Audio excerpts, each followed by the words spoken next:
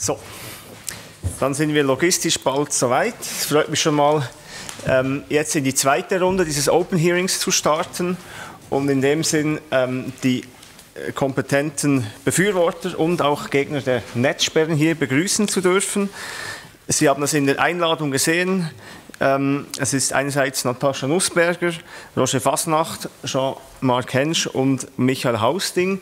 Wir haben es so besprochen, dass wir kurz eine Vorstellungsrunde machen mit so einem ganz kurzen Statement und dann anschließend ähm, ich einige Fragen stellen werde, die ich mir da notiert habe und dann möglichst rasch auch dann das, das, äh, die, die, die Diskussion öffnen natürlich, damit Sie die da sind, ähm, auch ihre Fragen da und Kommentare anbringen können.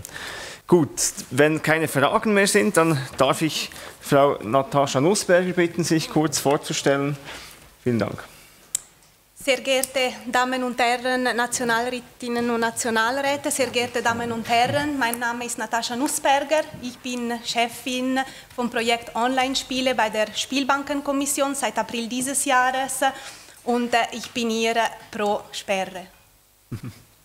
Danke vielmals. Herr Fasnacht. Mein Name ist Roger Fasnacht. Ich bin äh, seit gut zehn Jahren Direktor von Swisslos. Äh, wir betreiben eine Internet-Webpage, die macht dieses Jahr vermutlich knapp 200 Millionen Schweizer Franken Umsatz. Sehr gut. Und Sie wissen die Zahlen schon von diesem Jackpot? Ja, oder? ich habe sie notiert. Okay. Ähm, okay. Gut, also von dem her ähm, sind wir jetzt gespannt. Wir haben die Möglichkeit, äh, hier die engsten Kontakte in die äh, Spielindustrie zu pflegen und umso besser für die Gewinner. Ähm, auf der Kontraseite haben wir einerseits Michael Hausting und Jean-Marc Hensch. Vielleicht, bis die Technik startet, ähm, Herr Hausting kurz. Ja, sehr geehrte Damen und Herren, sehr geehrte Nationalräte und Nationalräte. Äh, ich bin hier als Vertreter von Switch, dem ein offenes und freies Internet schon immer äh, sehr wichtig war, aber auch als Vertreter der Internet Society Switzerland. Gut, und dann haben wir noch Jean-Marc Hensch. Er hat äh, den Wunsch geäußert, eine kleine Live-Demo zu machen. Und wie es bei diesen Live-Demos halt meistens ist, äh, insbesondere bei Informatik-Anlässen, dass natürlich die Technik nicht ganz so trivial ist. Ich schlage vor, du stellst dich trotzdem mal kurz vor und ähm, dann starten wir nachher, sobald wir die Technik eingestellt haben, dann mit der Live-Demo. Sehr gerne, lieber Matthias, besten Dank. Mein Name ist Jean-Marc Hensch. Ich bin Geschäftsführer des Verbands der IT-Anbieter der Schweiz, zu dem die 450 äh, größten Anbieter der Schweiz gehören. Äh, wir haben keine Aktien weder bei inländischen Anbietern noch bei ausländischen Anbietern von Casinos. Ehrlich gesagt, uns interessieren Glücksspiele nicht die Bohne, aber wir glauben, dass es hier um sehr gefährliche Entwicklungen gibt, die für das Internet und für die Wirtschaft von Gefahr sind. Gut, vielen Dank für diese Eröffnungsstatements. Wenn wir auf dieser Seite noch an der Technik sind, mal kurz eine Frage an Sie. Ähm, Sie können selber anwählen, wer das beantwortet. Wir haben gehört in der Einführung von Herrn Duvenet, so der Schlusssatz, eher ein untaugliches Mittel versus gar nichts tun. Also wie sehen Sie das? Warum ist ein untaugliches Mittel besser als gar nichts tun? Also ich würde mal schon ab, in Abrede stellen, dass es untauglich ist. Ähm, es war von Anfang an klar, dass diese Netzsperren umgangen werden können. Ähm, es ist vielleicht auch relativ wenig Aufwand damit verbunden, aber der Aufwand ist da. Mhm. Und äh, jeder, der eine Website, eine kommerzielle Website betreibt, der weiß, dass jeder zusätzlich notwendige Mausklick eine Hürde darstellt, führt zu Kundenverlusten. Und die Erfahrungen im Ausland zeigen, ich, wir haben da etwas Forschung getrieben, ähm, dass effektiv eben die meisten Leute diesen, auch wenn er klein ist, diesen Aufwand scheuen das heißt, diese Sperren haben durchaus ihre Berechtigung, sie funktionieren. Aber wie gesagt, nicht zu 100 Prozent. Das kann man problemlos jetzt dann sehen. Genau, äh, wir haben es jetzt geschafft, glaube ich, soweit. Sind wir einigermaßen online. Okay, es, ähm, es, ist einfach interessant zu sehen, dass die Technik sich relativ stark entwickelt hat, seit an dieser Gesetzesvorlage gearbeitet wurde. Sie, Sie sehen hier die neueste Version des äh, Opera-Browsers, das ist einer von vielen, den man, den man herunterladen kann, ist bereits eingestellt auf anonymes Surfen, um da problemlos unterwegs zu sein. Wenn ich da auf Netflix gehe, ich habe extra diesen Anbieter genommen, damit wir da nichts Illegales tun.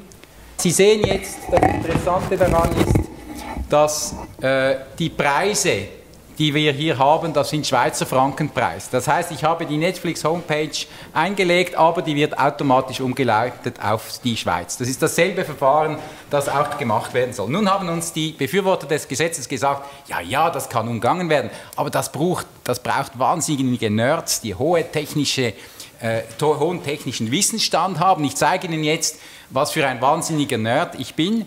Ich gehe also hier auf VPN, ein Klick, zwei Klick, und dann mache ich die Seite neu geladen und sieh an, ich habe den Preis in Dollar unten. Sie sehen, ich bin auf der amerikanischen Seite. Äh, natürlich äh, möchte ich noch betonen, ich habe kein Informatikstudium gemacht und äh, ich traue sogar Ständeräten zu, dass sie das machen könnten, die ja in diesem Bereich sehr stark äh, nicht, nichts davon hören wollten, dass das ein, ein Problem ist. Das wollte ich einfach zeigen. Also es geht, weil man zum Teil eben nicht glaubt, dass das so einfach ist. Es ist wirklich ein, ein, das einfachste der Welt und äh, das sind, Sie können natürlich in Zukunft vermutlich auch noch Ihren Browser so voreinstellen, dass er von Anfang an gerade im VPN-Modus geht. Vielleicht noch ein kleines Detail, einfach um, damit Sie sehen, wie weit das, das geht. Ich bin jetzt hier auf Vereinigten Staaten drin. Jetzt könnte ich sagen, Sie sehen da unten das Wappen der Vereinigten Staaten. Jetzt könnte ich sagen, okay, äh, eigentlich möchte ich lieber etwas anderes sein. Hm, was wähle ich heute aus? Vielleicht wäre ich heute lieber Niederländer, oder? Weil die bessere Filme haben, was weiß ich. Dann äh, äh, lade ich die Seite äh, nochmals neu und lustigerweise, Sie sehen, ich habe sofort die Seite mit den niederländischen Angeboten. Sie sehen das an den Europreisen, die da unten angegangen ist. Also ein absolutes Kinderspiel. Gut, vielen Dank für diese VPN Live-Demo. Wie ist das zu verstehen? Also einfach nur ganz kurz noch, ist das illegal, was du jetzt gerade gemacht hast? Das würde ich im Bundes das würde ich mir im Bundeshaus natürlich niemals äh, gestatten. Okay. Gut, äh, Frau Nussberger, Sie haben da eine Reaktion von Ihrer Seite. Ja, also für mich ist es klar, dass man die Sperren umgehen kann, aber die Frage ist, sind sie wirksam oder nicht? Und für uns ist es klar, dass sie wirksam sind.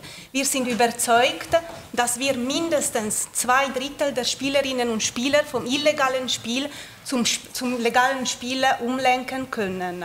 Und wir dürfen eines nicht vergessen, wir sind fast die Letzten in Europa, die noch nicht das Online-Spiel eingeführt haben für, für Casino-Spiele. Also fahren wir nicht gegen die Wand. Also schauen wir, was haben unsere Nachbarländer gemacht. Mhm. Was hat ganz Europa gemacht? Und wir wissen ganz genau, Europa ist zufrieden mit der Netzsperre.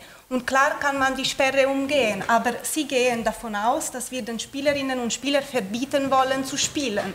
Aber es ist nicht so. Wir möchten sie vom illegalen zum legalen Spiel äh, umlenken. Das ist auch das Ziel, was unsere Verfassung will. Und sie gehen auch davon aus, dass jeder Spieler und jede Spielerin illegal spielen will. Und das stimmt auch nicht. Okay.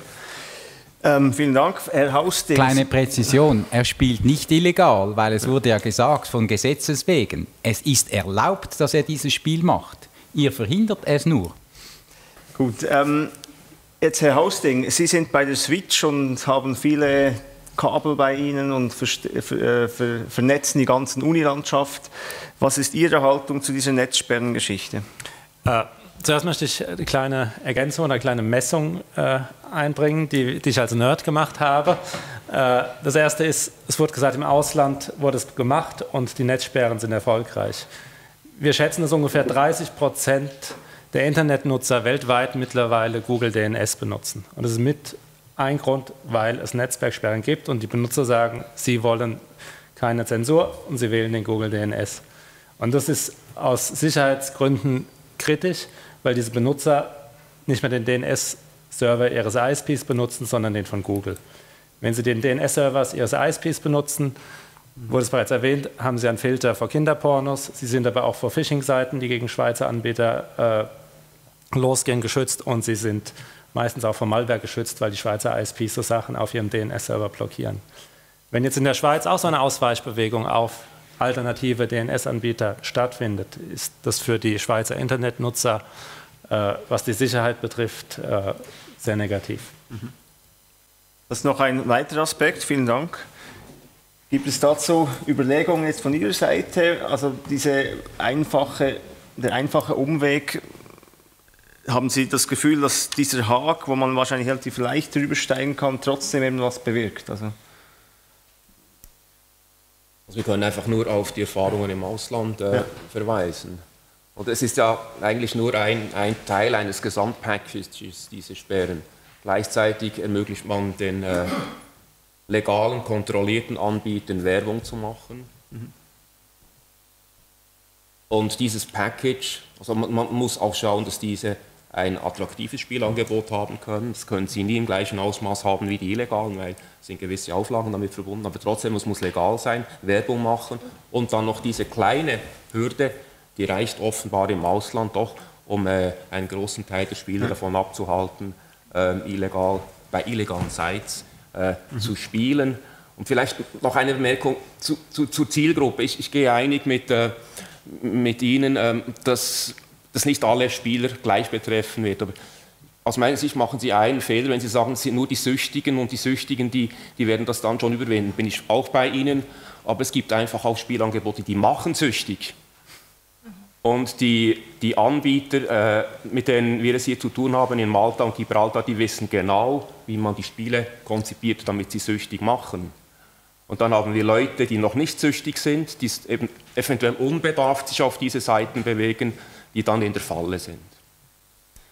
Vielen Dank. Ähm, gibt es Alternativen, Jean-Marc Hensch? Also gibt es Möglichkeiten, Spiele, also ich nehme ja nicht an, du willst Leute süchtig machen, ähm, gäbe es Alternativen, jetzt ganz konstruktiv gesagt von eurer Seite, damit man quasi nicht auf die, auf Netzsperren verzichten kann, andere wirksamere Maßnahmen? Also zuerst einmal äh, finde ich sehr gewagt zu sagen, also bei uns haben wir einen geschützten Rahmen, äh, in dem alles äh, sauber abläuft. Niemand wird zum Spiel äh, angetrieben. Ähm, gehen Sie einfach mal auf die Swisslos-Seite, sehen Sie auf all die blinkenden Lichter, jetzt sofort spielen. Es gibt Spiele, wo man die sofortige, sozusagen, jetzt sofort 100.000 Franken, habe ich gleich vorhin gesehen. Also ich, ich, ich kann das nicht, nicht verstehen, weshalb man so tut, als seien die, die Schweizer Anbieter höchst moralisch und äh, daneben irgendwelche anderen, äh, von, denen, von denen ich, äh, mich nicht, die ich mich nicht informiert habe, das seien dann absolut äh, gefährliche Leute. Also äh, Spiel ist vermutlich etwas, etwas äh, nicht Sinnvolles, deshalb habe ich das selbst auch noch nie getan. Und äh, verstehe aber, wenn Leute Freude daran haben, die sollen das nutzen können. Jetzt zur Frage, was sind die Alternativen? Ich habe es am Anfang gesagt, ich bin nicht hier als Spielspezialist. Ich kann Ihnen nur sagen, es gibt, es gibt hier ein, ein Vorhaben, etwas Unwirksames und Unsinniges zu machen und es gibt sehr viele negativen Punkte, die das mit sich bringt und deshalb sollte man es nicht tun was die Alternativen sein könnten, ob man sich auf die Geldflüsse äh, konzentrieren sollte, ob man irgendetwas anderes machen sollte, das ist eigentlich äh, nicht mein Ding. Ich meine, Sie könnten auch sagen, ich finde es nicht toll, dass die Leute äh, im Ausland einkaufen gehen.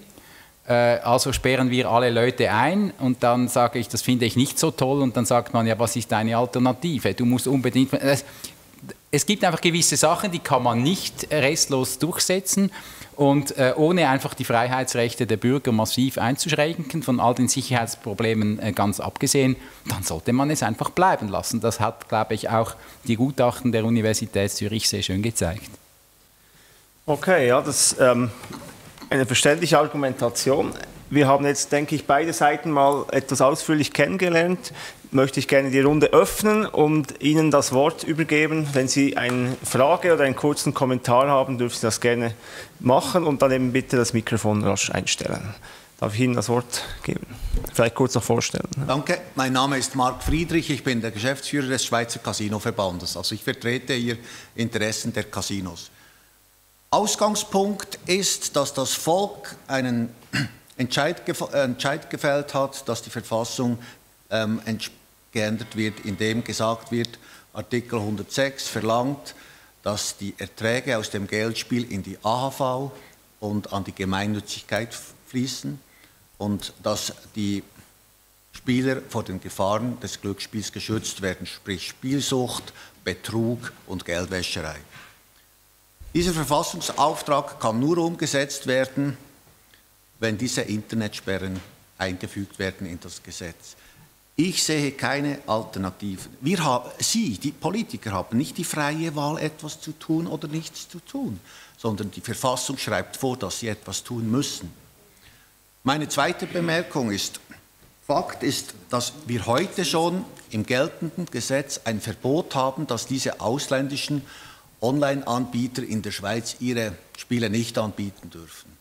Man muss feststellen, dass das überhaupt nichts nützt. Wenn wir jetzt keine Internetsperren einführen, wird dieser Zustand einfach weitergeführt. Jedes Jahr fließen Größenordnung 200 Millionen Franken Bruttospielertrag ins Ausland ab. Ich bin der Meinung, das sollte nicht weiter, so weitergeführt werden, sondern es ist notwendig, dass man diese Internetsperren einführt. Danke. Mhm, vielen Dank. Äh, da hinten ähm, Flückiger NZZ. Ich habe zwei Fragen, beziehungsweise die erste Frage ist eigentlich auch eine Entgegnung an das, was mein Vorredner jetzt gesagt hat, weil Sie sagen, in der Verfassung stehe, ähm, der Markt ist nicht frei, es braucht Konzessionen, die Spieler sollen geschützt werden und der Ertrag soll fiskalisch äh, der AHV zugutekommen. Nur genau das könnte man von einem ausländischen Anbieter auch verlangen. Also es gibt keinen einzigen Grund, den Markt hier auf die Schweiz zu zu beschränken oder auf Schweizer Anbieter, außer, und das haben Sie wenigstens im zweiten Teil der Aussage äh, dann noch präzisiert, es geht darum, einfach die Erträge in der Schweiz zu halten. Aber eigentlich müsste man davon sprechen, dass es ein Protektionismusgesetz ist und die Ziele der Verfassung könnte man auch anderweitig erreichen. Und dann das Zweite ist, ist die Frage, die ich habe an die Herren, die vorhin aufs Ausland verwiesen haben. Also Sie haben jetzt gelobt, welche tollen Erfahrungen Frankreich gemacht hat mit diesen Netzsperren. Also gemäß meinen Informationen ist in diesen Ländern vor allem der Anteil des Schwarzmarktes massiv gestiegen. Also ich sehe hier nicht, und im Gegensatz zu Dänemark beispielsweise, die genauso ein Konzessionierungsmodell kennt, wo die Fiskalerträge sehr viel größer geworden sind, eben genau weil die Anbieter von der Illegalität in die Legalität geholt wurden. Also ich verstehe jetzt nicht ganz, wo diese tollen Erfahrungen im Ausland mit diesen Netzsperren sind. Vielleicht können Sie das präzisieren. Also ich erlaube mir zu antworten, mhm. das Konzessionsmodell spielt hier keine Rolle. Egal welches Konzessionsmodell wir wählen, wir brauchen Blocking-Maßnahmen. Weil stellen Sie sich vor, sonst haben wir die absurde Situation, die illegalen Anbieter heute, die wir zu legalen machen möchten, hätten die Wahl zwischen bis 80 Prozent Steuern bezahlen und keine Steuern bezahlen. Also es ist klar, dass wir ein Blocking brauchen. Ja. Wenn ich noch anschließen darf, ähm, das ist absolut richtig. Also Sie vermischen hier zwei Fragen. Das ist die Frage der, der Sperren und die Frage der Konzessionierung. Und ich kann Ihnen versichern, wenn man ausländische Anbieter zulassen würde für die Konzessionierung, wären das die Ersten, die danach reklamieren würden, dass man die nicht zugelassenen, die nicht konzessionierten aussperren würde. Weil das Angebot einfach eine andere Qualität, eine andere Aggressivität äh, hat. Okay, ähm, ja, nächste Frage. Ähm, ich möchte kurz ergänzen, ergänzen, zu dieser Aussage, dass die, ähm, dass die nicht, dass die Konzessionierung unweigerlich eine Blockierung zur Folge haben muss. Das müsste man ja dann auch bei der Mehrwertsteuer zum Beispiel machen. Wir haben jetzt eine Mehrwertsteuergesetzesänderung, die dazu führt, dass jedes Unternehmen weltweit, das 100.000 Franken Umsatz macht und elektronische Produkte in die Schweiz liefern muss, hier in der Schweiz mehrwertsteuerpflichtig ist. Das würde ja bedeuten, dass sie gleichzeitig Netzsperren einführen müssten, um alle die Unternehmen, die diese Mehrwertsteuer nicht abführen, dann entsprechend auszusperren. Es gibt ganz viele Regelungen, die unter internationalen ausländischen Unternehmen Auflagen machen, wenn sie im Schweizer Markt tätig sein wollen. Und wenn diese Auflagen nicht erfüllt sind, dann verhalten sie sich illegal und dann können sie bitte sehr gegen diese Unternehmen auf dem Rechtsweg vorgehen, wie sie das in anderen Dingen auch tun. Es gibt keinen Grund, in diesem Fall hier auf Netzsperren zu beharren, weil das bei allen anderen Bereichen auch nicht der Fall ist, weil sonst müssen wir davon ausgehen, dass das in Zukunft für alle Branchen und für jeden Bereich eine Frage sein wird, müssen wir das sperren oder nicht. Das ist ein Anfang vom Ende des offenen Netzes, was Sie hier proklamieren. Gut, vielen Dank, Frau Nussberger. Ich bin mit Ihnen nicht einverstanden. In diesem Bereich haben wir eine Konzession. Und das haben nicht wir entschieden, sondern das Volk. Es steht wirklich in der Verfassung. Wir möchten diesen Bereich schützen und es gibt Gründe weil es gibt auch Gefahren. Es gibt Gefahren, Spielsucht, Geldwäscherei, Betrug und äh, ich muss Ihnen sagen, die, über diesen äh, Artikel haben nicht nur Spielerinnen und Spieler abgestimmt, sondern alle, auch diejenigen, die sozialen Kosten tragen der Spielsucht.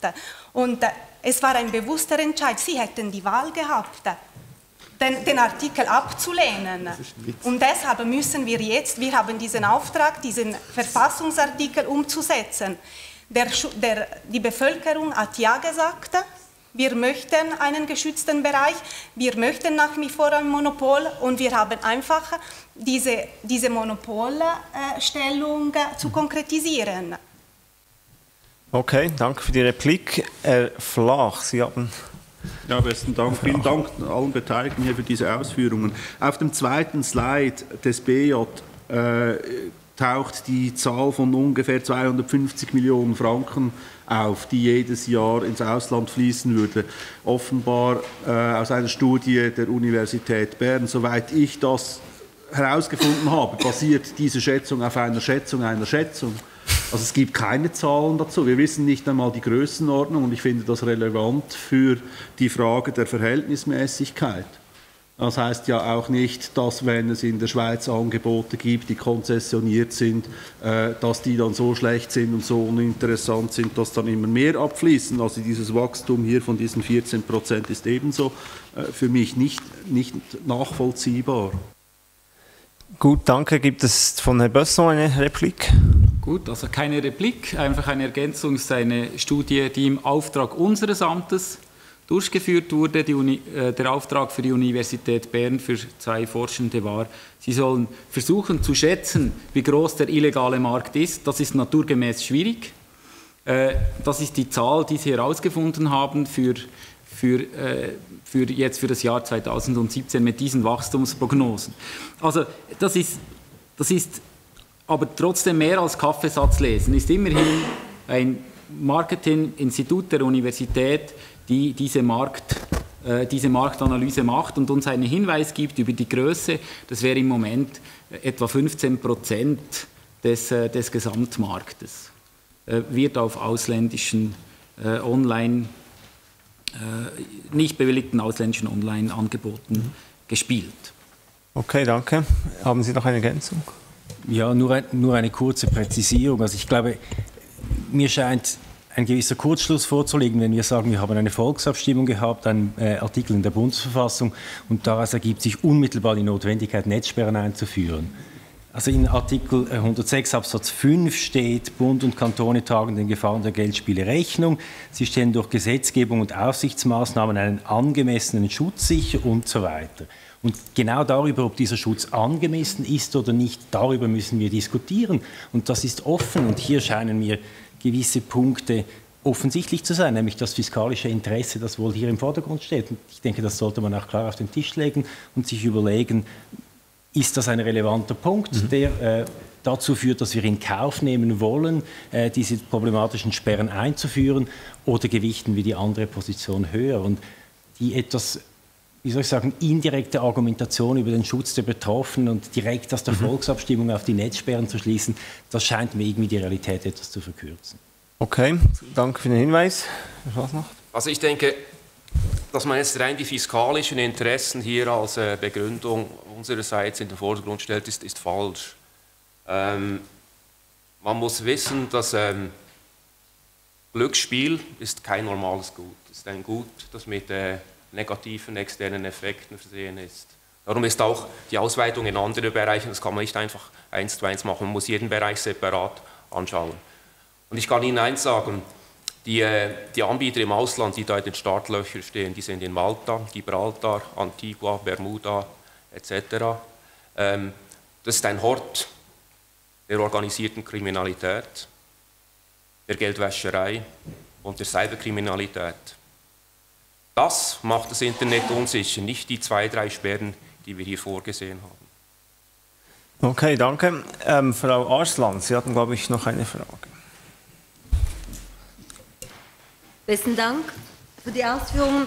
Ich würde gerne wieder auf diese fiskalischen Interessen zurückkommen. Wir haben äh, vorher auch in den Ausführungen gehört, dass ja äh, Länder, bei denen diese Sperren eingeführt worden ist, dass es zu Zielen geführt hat, anscheinend. Aber es gibt ja auch Länder, die, die auf diese Sperre verzichtet haben und genau diese Anbieter dazu verpflichtet haben, dass sie auch einen Beitrag zahlen. Und dort hat man auch große Ziele erzielt oder erreicht, indem zum Beispiel, dass man gegen Sucht, gegen Prävention äh, oder für Prävention oder eben auch für, für die Einnahmen äh, etwas machen konnte, dass dieser Schwarzmarkt, wenn man das so bezeichnen möchte, auch bekämpft wurde. Könnte, können Sie vielleicht etwas noch zu diesen Ländern äh, etwas dazu sagen? Das ist eben das Missverständnis, das hier herrscht. Die haben eben dann gleichzeitig flankierend auch die Sperren. Also man lädt dann vielleicht 20 dieser Anbieter ein, sich zu konzessionieren, aber die anderen, dort sind Sperren. Also Frankreich kennt im Sportwettenbereich ein Lizenzierungsmodell, Dänemark kennt auch ein Lizenzierungsmodell. Also vermischen Sie bitte nicht die Frage mit dem Lizenzierungsmodell oder, oder mit, mit der Ordnung mit den Netzsperren, weil auch dort, wo Lizenzen vergeben werden an ausländische oder was auch immer für Unternehmen, ist es dann so, dass die anderen ausgesperrt werden. Einfach aus dem gleichen Grund, weil sonst die, Speiß, die Spieße nicht gleich groß oder gleich lang sind. Mhm. Danke. Nochmal. Nochmal Marc Friedrich, Casinoverband. Man muss sich schon bewusst sein, ähm, es macht keinen Sinn für Schweizer Anbieter hohe Auflagen zu bestimmen und dann gleichzeitig Anbieter Illegale aus dem Ausland zuzulassen, die diese Auflagen nicht erfüllen müssen und keine Steuern in, der Schweiz bezahlen. Ich muss Ihnen sagen, ähm, wenn diese Internetsperren nicht kommen, wird kein, kein Schweizer Anbieter in äh, Online-Casinos investieren. Dann wird es kein kontrolliertes Angebot geben, das in der Schweiz Steuern bezahlt. Okay, ist es nicht ein bisschen Angstmacherei jetzt auch ähm, im Sinne zu sagen, es, die Welt geht unter, wenn, was, wenn die Netzsperren nicht kommen? Das ist wirklich keine Angstmacherei. Also wir mhm. gehen davon aus, wenn diese Netzsperren nicht kommen, wird es wirtschaftlich nicht möglich sein, ein mhm. Online-Casino zu betreiben, das die Schweizer Auflagen erfüllt, wenn man gleichzeitig der ausländischen illegalen Konkurrenz ausgesetzt ist. Mhm. Frau Arschland, Sie wollten noch? Und Okay, sonst äh, da vorne noch eine Frage, ja? Kommentar.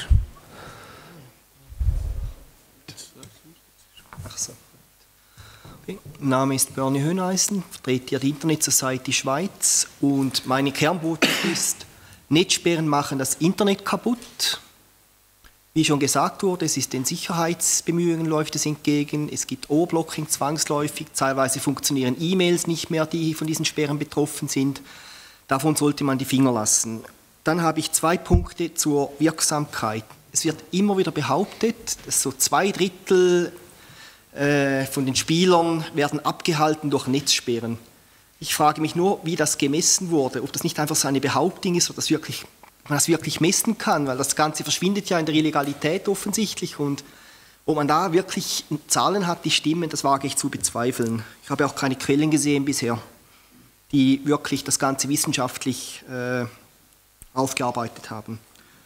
Das Zweite ist, es wird immer wieder gesagt, diese Informationsseite, die ja dann kommt, wenn man einen ausländischen Geldspielanbieter aufruft, die hat eine große Wirksamkeit.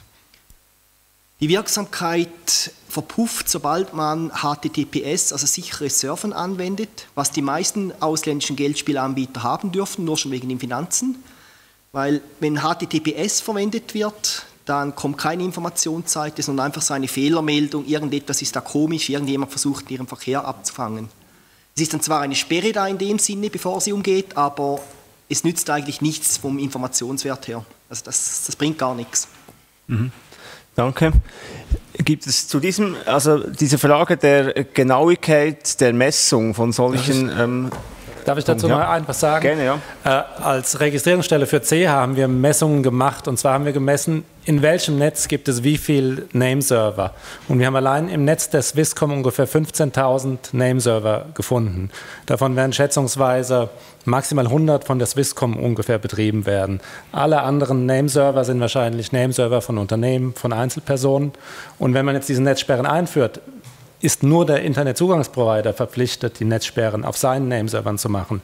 Das heißt, eigentlich alle Mitarbeiter von KMUs oder alle Privatpersonen, die ein Synology NAS zu Hause haben, das für sie die äh, Auflösung macht, äh, die, dort werden die Netzsperren nicht wirken. Und wenn man jetzt überlegt, von Swisscom sind schätzungsweise zwei Millionen Benutzer, wenn man da drin 15.000 Nameserver hat, äh, die durchschnittlich auch nur 50 Benutzer haben, dann benutzen gerade mal die Hälfte aller Swisscom-Nutzer überhaupt die Swisscom-Name-Server und werden von den Sperren betroffen.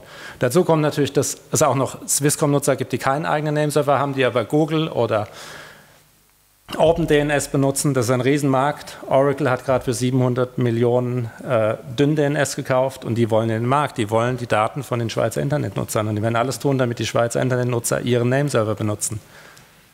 Also DNS mit anderen Worten wird kritisch als, oder wird sehr teuer oder quasi unnütz als Sperre. Gut, wir haben hier noch schon länger eine Frage. Ja, ja vielen Dank. Mein Name ist Barbara Bonner, ich bin Verwaltungsrätin von Swiss Casinos. Ich verstehe das Argument der leichten Umge um Umgehbarkeit mhm. Äh, dieser Maßnahme verstehe ich nicht, insbesondere in diesem Raum nicht. Staatspolitisch betrachtet sind ähnliche Argumente wahrscheinlich schon gekommen, als es um die Einführung der Höchstgeschwindigkeit auf Straßen gegangen ist. Selbstverständlich kann diese Höchstgeschwindigkeitsangabe leicht umgangen werden, indem man nämlich aufs Gas oder eben nicht auf die Bremse drückt. Das ist, äh, sollte unbestritten sein. Nichtsdestotrotz haben diese Höchstgeschwindigkeitsbegrenzungen enorme Wirkungen. Nämlich in der Regel wollen sich äh, die die Straßenverkehrsteilnehmer, ich nehme an, äh, auch die Spieler, an das Gesetz halten und wollen nicht dieses Gesetz umgehen. Daher gehe ich davon aus, dass die Wirksamkeit äh, dieses Internetblockings sehr hoch sein wird, insbesondere von denjenigen Personen her, die eben auf legalen Angeboten spielen wollen und nicht illegale Angebote berücksichtigen wollen. Danke. Es hat nur ein kleines Problem, Ihre Analogie stimmt nicht, weil der Spieler eben gar nichts Illegales macht. Der Spieler, der Spieler, der, der dorthin geht, macht eben nichts Illegales, weil es ist ihm nicht verboten, dort zu spielen. Mhm. Das wurde auch nicht gesagt. Wir sind der Meinung, es wäre falsch, den Spieler zu kriminalisieren. Der ist heute nicht, nicht strafbar und wird es in Zukunft nicht sein. Frau Bonner hat auch nicht gesagt, äh, doch eine Geschwindigkeitsübertretung ist eben eine Übertretung und ist eine Straftat in dem Sinn und ein Glücksspiel im Ausland ist eben keine Straftat. Schauen Sie, wer sich hier strafbar macht, ist, ist nicht der Spieler, sondern die ausländischen Online-Anbieter. Die machen sich strafbar. Wir haben heute, wir haben heute schon eine, eine, eine Verbotsnorm im geltenden Gesetz und Strafbestimmungen aber die halten sich nicht daran und weil sie in der Schweiz keinen Anknüpfungspunkt haben, kann man die nicht verfolgen. Mhm. Es ist heute ja. auch so, dass die bereits Werbung machen in, auf den Schweizer Fernsehsendern. No, noch eine kurze Replik von Frau Bonner. Es ist nicht möglich, gegen sie vorzugehen, weil sie keinen Schweizer Anknüpfungspunkt haben. Ich würde noch so gerne dagegen vorgehen. Fragen Sie die Eidgenössische Spielbankenkommission, wie die rechtliche Situation ist in diesem Bereich. Vielleicht, wenn Sie ein anderes Analogung lieben möchten, kommen wir zum Gruyère-Käse. Der Gruyère-Käse darf nur unter bestimmten Voraussetzungen und Bedingungen dafür hergestellt werden und als Gruyère-Käse verkauft werden. Nun ist es so, dass die, der Schweizer Gruyère-Käse markiert wird, damit festgestellt werden kann, ob ausländischer gefälschter Käse als Gruyère-Käse äh, verkauft wird. Selbstverständlich wird der Staat am Zoll äh, gefälschter Gruyère-Käse wird er beschlagnahmt. Selbst, selbstverständlich wird er versuchen, dieses illegale Angebot durchzusetzen. Es wäre nicht illegal, diesen Käse zu kaufen, aber der, der Konsument hat ein Recht zu erfahren, was er kauft. Und daher äh, hat der Staat die Aufgabe, äh, diese AOC-Schutzbestimmungen äh, durchzusetzen oder eben das legale Angebot zu ermöglichen. Danke. Okay, danke. Jörg Aschon. Jörg Aschon, UPC. Ich bin also Vertreter von einer der Firmen, die dies hier umsetzen müssten, sodass das Parlament dies beschließt. Äh, vielleicht einleitend. Äh, wir sehen Netzsperren generell sehr kritisch. Es gibt weltweit eine Übereinkunft aller ISPs, dass man freiwillig inklusive der zivilrechtlichen Haftung Kinderpornografie sperrt. Darüber hinaus, äh, und ich sage das jetzt wirklich diplomatisch, sehen wir Netzsperren sehr, sehr kritisch. Und ich glaube, das Parlament wird gut beraten sein, hier sich zu überlegen, ob man diesen eigentlichen Dammbruch für etwas, und das meine ich jetzt nicht despektierlich, da müssen Sie mich richtig verstehen, aber wenn Sie das ganze Internet anschauen im Bereich der Geldspielgesetze, ob man da auf Gesetzesstufe beginnen will mit äh, Netzsperren, das wird sich das Parlament wahrscheinlich gut überlegen müssen. Ich habe aber zwei Fragen. Äh, offensichtlich wird, werden Netzsperren hier als das, äh, vielleicht nicht das goldene Kalb, aber als das, äh, äh de, äh, de, die berühmte Silver Bullet äh, gesehen. Gehen wir mal davon aus, dass es so kommt, wie hier verschiedentlich kolportiert wird, dass es nämlich nicht funktioniert oder nur zu einem sehr geringen Teil funktioniert, ist die Frage für mich, was passiert dann? Sollen die ISPs weiter zunehmend in die Haftung genommen werden? Wird das also massivst ausgeweitet? Und die zweite Frage, die mich natürlich interessiert, wer bezahlt uns das? Okay, vielen Dank. Frau Nussberger hat da schon Notizen gemacht. Also zu Ihrer Frage, was passiert, wenn das nicht funktioniert?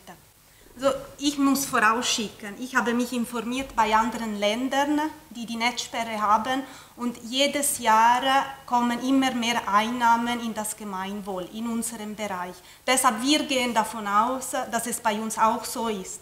Aber sollte das nicht funktionieren, ich muss Ihnen ehrlich sagen, diese Maßnahme lässt sich ganz einfach evaluieren. Nach einem Jahr schauen wir, das, sind die versprochenen Millionen in die AV geflossen oder nicht.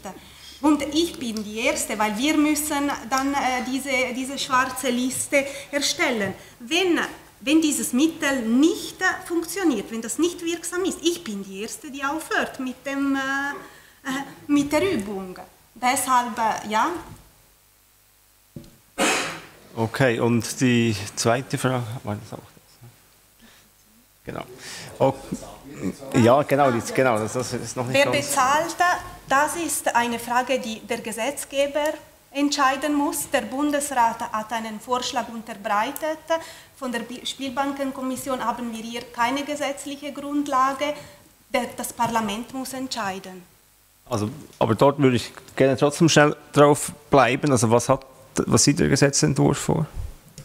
Der Gesetzentwurf sieht keine Abgeltung der Zugangsprovider vor. Mhm. Wir haben aber mit den Internetzugangsprovidern gesprochen, als wir das äh, Gesetz äh, gedraftet haben. Und wir müssen, haben gesehen, es gibt keine hohen Kosten. Oder es sind genau die gleichen Listen, die heute für die Kinderpornografie verwendet werden, äh, werden äh, kann man verwenden. Wenn es hohe Kosten geben sollte, dann gibt es eine Norm im Gesetz und dann äh, können die Internetzugangsprovider die Sperrung ablehnen. Also wir haben hier eine Sicherung eingebaut, zusammen mit den Internetzugangsprovidern, damit, wenn die Kosten zu hoch werden, dass die, man dann diese Sperren nicht umsetzen muss. Mhm. Danke. Bei Switch ja. muss man auch Netzsperren einrichten? Ja, also als Vertreter eines Internetzugangsproviders äh, möchte ich Ihnen widersprechen. Die Kosten sind erheblich. Sie brauchen Spezialisten, die sowas implementieren. Äh, teilweise müssen Sie teure Lizenzen kaufen. Und insbesondere die kleinen ISPs, denke ich, die bis jetzt nicht freiwillig Kinderpornografie sperren, auf die kommen hohe Kosten zu, die sie nur schwer tragen können. Also das wird meiner Meinung nach zu einer Verschiebung von den kleinen ISPs zu den großen führen. Weil wenn ich 100.000 Kunde, Kunden habe und mir eine DNS-Firewall kaufen muss und betreiben muss, dann sind es erhebliche Kosten. Und die können die Kleinen meiner Meinung nach nicht tragen. Und was ist der Unterschied zwischen den Kinderpornografie-Sperren ähm, und den Netzsperren für Online-Casinos? Also sie sind freiwillig momentan ja noch. Mhm. Und gerade die kleinen ISPs haben die nicht umgesetzt. Also sind vor allem UPC, Swisscom, Sunrise die, und wir, die sie meiner Meinung nach umgesetzt haben. Und ein kleiner ISP, äh, wenn Sie vier Nameserver betreiben, eine RPZ-Lizenz kostet allein 25.000 Franken pro Jahr. Da haben Sie allein Lizenzkosten, die liegen im sechsstelligen Bereich. Und Sie brauchen einen Experten, den Sie kaum finden auf dem Arbeitsmarkt. Ja, Herr Besser. Was sind die, die Service-Provider, die auf der Liste des Backcoms stehen, äh, setzen die COBIC-Maßnahmen um? Was sind 300 etwa, glaube ich, im Moment etwa 300. Okay. Gut, weitere Frage, Anmerkung? Also, mein Name ist Django Betschart. Ich vertrete die Anliegen ähm, von einer Gruppe von europäischen Online-Anbietern und ich kann Ihnen versichern, dass sich unsere Klientschaft liebend gerne um eine Konzession bemühen würde, wenn sie denn dürfte. Aus wirtschaftspolitischer Sicht lassen sich Netzsperren und andere Sperrmaßnahmen ja nur rechtfertigen, wenn man eine große Gruppe von Marktteilnehmern äh, aus einem System auszuschließen versucht. Und jetzt stellt sich ja die Frage, warum die Schweiz diesen Weg der Abschottung gewählt hat. Ähm, Im konkreten Fall des Geldspielgesetzes wollen sich die landbasierten Casinos die internationale Online-Konkurrenz vom Leib halten und die Schweizer Digitalwirtschaft muss offensichtlich dafür bezahlen. Das haben wir gerade diskutiert. Dies ist jedoch nicht etwa die beste Lösung, sondern der einzige Grund für dieses geplante Online-Monopol ist, dass sich die Casinos während der Erarbeitung des Drafts durchgesetzt haben. So hat es nämlich unsere Bundesrätin Simonetta Sommaruga formuliert, als Ständerat Caroni gefragt hat, warum denn die Schweiz, die sonst liberale und fortschrittliche Lösungen macht, solche rückschrittliche Systeme entwickelt. Erfahrungen von anderen europäischen Staaten zeigen, dass das regulatorische Erfolgsrezept darin besteht, die existierenden internationalen Anbieter in ein Schweizer Konzessionssystem zu kanalisieren. So würden nämlich alle großen internationalen Anbieter im Schweizer Markt nach Schweizer Regeln und nach Schweizer Besteuerung anbieten und der Marktwert der Schwarzmarkt würde sehr klein werden. Auch entstünde dank dem ermöglichten Wettbewerb mehr Qualität, weswegen sich auch die ESBK anfänglich für eine Öffnung ausgesprochen hat. Und nun, um den Kreis zu schließen, eine kontrollierte Marktöffnung hätte einen betrachtlich reduzierten Schwarzmarkt als Resultat. Ein reduzierter Schwarzmarkt wiederum würde solch einschneidenden Maßnahmen wie die Netzsperren den Wind aus den Segeln nehmen und ich kann Ihnen versichern, Anreize für internationale Anbieter, sich auch ohne Netzsperren um eine Schweizer Konzession zu bemühen, gibt es zu Genüge. Dazu würden oh. dem Bundesamt für Justiz okay. bestimmt noch weitere Maßnahmen in den Sinn kommen, um nicht mhm. konzessionierte Anbieter zu sanktionieren. Und wie von Herrn Besson erläutert, bemühen sich die großen und seriösen Anbieter von sich aus, die Regulatorien der verschiedenen äh, Märkte einzuhalten, um nicht auf einer schwarzen Liste zu landen. Gut, äh, vielen Dank für diesen neuen Aspekt. Herr Fasnacht, geht es um den Protektionismus des schweizerischen Casinomarktes?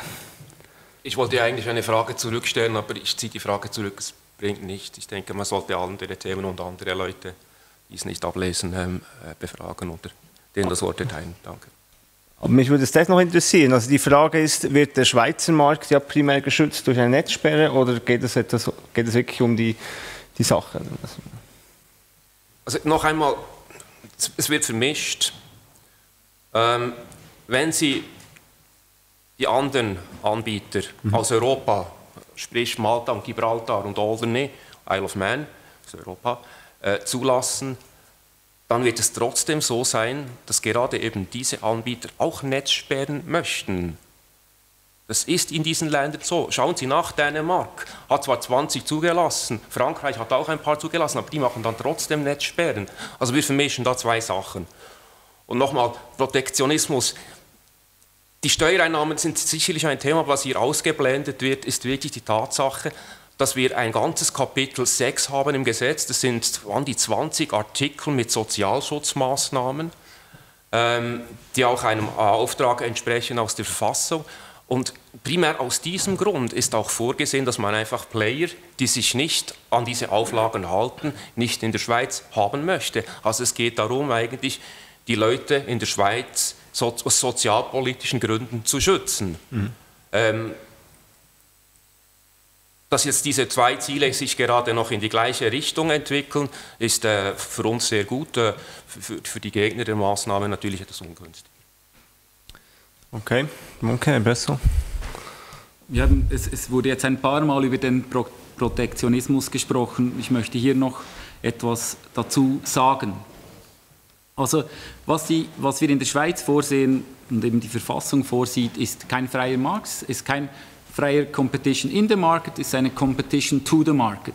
Schon heute sind 40 Prozent der Spielbanken ausländisch beherrscht, zu mehr als 50 Prozent.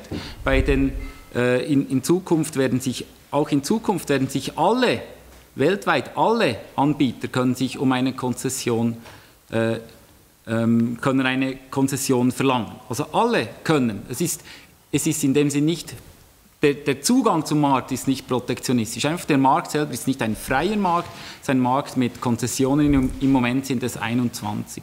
Also das muss man schauen, dass man das nicht vermischt. Das ist nicht Heimatschutz. Oder alle können hier eine, eine Konzession äh, haben. Okay, kurzer Blick, ja. Genau, also jeder hat das Recht, eine Aktie zu kaufen eines Schweizer Casinos, welches eine Online-Spielbank dann besitzt. Jedoch haben die internationalen Anbieter, die dies seit 20 Jahren anbieten, nicht die Möglichkeit, ihre Services, ihre Angebote an die Schweizer Spieler zu richten. Das ist ein großer Unterschied, weil in der europäischen Ebene niemals die Schweizer oder niemals die Landcasinos stark sind im Internet, sondern die Internetanbieter sind immer separate Anbieter, die nichts mit landbasierten Casinos zu tun haben. Okay, nochmal. Was noch? Ja, aber das hat einen, einen Grund. Bislang war es den Schweizer Casinos schlicht und ergreifend gemäß Geldspielgesetz verboten, online anzubieten. Und sie haben sich äh, an diese Regelung halten müssen. Also, also dieser Vergleich stimmt jetzt hinten und vorne nicht. Also wenn sie nicht können, die Schweizer Casinos, dann ist es ihnen auch nicht möglich. Danke. Polzar Glättli. Ja, äh, mich treibt etwas anderes um, also nämlich die Frage eben, welche anderen Möglichkeiten zur Sanktionierung äh, von ausländischen Anbietern man allenfalls haben könnte. Also jetzt einfach sehen wir diese Rechtslage so, es wurde gesagt, es fehlt der sogenannte Anknüpfungspunkt. Gibt es Möglichkeiten, wie wir, also es ist ja vor allem eine Frage an die Rechtsgelehrten im Raume, äh, wie wir einen solchen Anknüpfungspunkt erstellen könnten. Also es fließen ja Geld, es ist eine vertragliche Beziehung, die da, die da eingegangen wird von jemandem, äh, also mindestens durch konkludentes Handeln, vermutlich durch Abklicken irgendwelcher AGBs der da erstellt wird. Und, und da müsste es doch möglich sein, ich rede jetzt noch nicht vom rechtlichen Aufwand, aber von der grundsätzlichen Konstruktion, da auch auf Anbieter, auf solche Anbieter, die sich dann nicht an ein Verbot halten, jetzt unbesehen, ob es Netzsperren gibt oder nicht, auch, auch zurückzugreifen und, und juristisch vorzugehen. Ja, gerne. Danke für Ihre Frage. Also ich kann Ihnen sagen, strafrechtlich können wir nichts machen. Auch wenn wir heute unser Gesetz ändern würden, könnten wir nichts machen, weil eine Bestrafung dieser Anbieter, die im Ausland sind, setzt voraus, dass sie auch in ihrem Land, wo sie ihren Sitz haben, ihren Server, dass sie auch dort strafbar sind. Und das, das schaffen wir praktisch nie. Und wenn wir einmal äh, einen, ähm, einen Fall hätten, wo wir das schaffen, ich muss Ihnen sagen, in Costa Rica, ich weiß nicht, ob jemand Interesse hätte, unsere Altersvorsorge zu unterstützen. Aber äh, es gibt andere Möglichkeiten und gleichzeitig möchte ich auch die Frage von Ertuvene äh, beantworten. Die, der gefragt hat, warum schließen wir von diesem Verfassungsartikel direkt auf das Blocking. Äh, es gibt tatsächlich andere Möglichkeiten, aber die für uns nicht in Frage kommen, weil sie viel weniger wirksam sind als ein Online-Blocking. Äh, das wäre zum Beispiel die, ähm, das Blocking der Finanzflüsse, also dass man die, äh, die Finanzintermediäre verpflichtet, alle Transaktionen zu stoppen zu, zu den Illegalen. Das Problem ist, und ich muss ehrlich sagen, die Spielbankenkommission hat das am Anfang gewünscht, diese Maßnahme. Aber im internationalen Austausch haben wir gemerkt, das funktioniert praktisch nirgendwo. Und deshalb haben wir gedacht, ja, weil die, die Möglichkeiten, die Vielfalt der, äh, der Möglichkeiten, diese Zahlungen vorzunehmen, verhindert, dass diese, dass diese Maßnahme wirksam ist. Es genügt, dass Sie mit PayPal bezahlen zum Beispiel oder ja, nicht mit einer Kreditkarte. Stellen Sie sich vor, wenn jetzt noch die Bitcoins kommen, es klappt nicht. Und äh, was, äh, was sonst noch im Ausland zusätzlich zum Blocking äh, dazu kommt, ist die Bestrafung der Spielerinnen und Spieler. Das wäre auch eine Möglichkeit, die vielleicht ein bisschen abschrecken würde, von, äh, mit, dem illegalen, äh, mit den illegalen Angeboten zu spielen. Aber wir, wir sind zurückhaltend, weil eigentlich frustrieren wir die falschen Personen, oder? Die, äh, die Leute, die etwas falsch machen, sind eigentlich die Illegalen und gegen die wir heute wirklich keine Mittel haben. Und das, was wir wollen, ist wirklich unsere Konzessionen schützen. Gut, vielen Dank für die äh, Statements. Ein allerletzter Replik und nachher müssen wir leider die Runde schließen. Dann halte ich mich ganz kurz. Zwei Punkte. Ich war indirekt angesprochen von Balthasar Gletti und auch von Frau Nussberger. Ähm, ich glaube, ein Punkt wäre, wir haben verschiedentlich gehört, Netzsperren haben vor allem eine Informationsfunktion. Warum setzt man nicht primär auf diese Information und lässt das Sperren sein? Jetzt können auch Schweizer Anbieter online anbieten, wenn das neue Gesetz kommt. Ich persönlich würde lieber bei einem Schweizer spielen als bei einem Ausländer, insbesondere wenn ich weiß, dass das Geld dann nachher meiner AHV zugutekommt. Warum nicht diesen Ansatz erst versuchen, wenn wir dann merken, dass es nicht funktioniert, vielleicht ist das ja so, dann kann man immer noch reagieren. Zweiter Punkt, die Frage von Balthasar Glättli es ist natürlich faktisch tatsächlich schwierig, diese Dinge umzusetzen, also aus, im Ausland erfolgreich vorzugehen.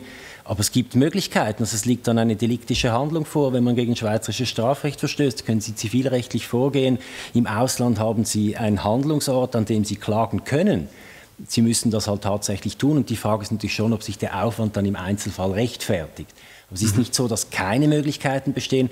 Das ist überall bei diesen Fragen der Rechtsdurchsetzung online. Das ist effektiv kompliziert, dornenvoll aufwendig und man muss sich fragen, ob das, ob das sich lohnt.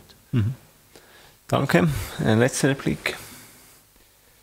Also habe ich richtig verstanden? Ihre Frage wegen der Information wäre wie eine, also eine Stoppseite ohne Blocking oder was meinen Sie mit Information? Es gibt diverse Möglichkeiten. Ich bin nicht Politiker, der hier Vorschläge lancieren sollte. Man kann auch einfach eine Informationskampagne machen, die Leute darüber aufklären. Es gibt jetzt schweizerische Online-Geldspiele, kommt doch zu uns. Also ich, ich kann Ihnen sagen, Ausländer, äh, also ausländische Staaten haben das äh, versucht, zum Beispiel Frankreich im 2013. Sie haben viel Geld ausgegeben, eine breite Kampagne gestartet. Nach zwei Jahren haben sie die Maßnahme evaluiert. Zwei Drittel der Spielerinnen und Spieler wussten nicht, äh, ob das Spiel, bei dem sie spielen, legal oder illegal war.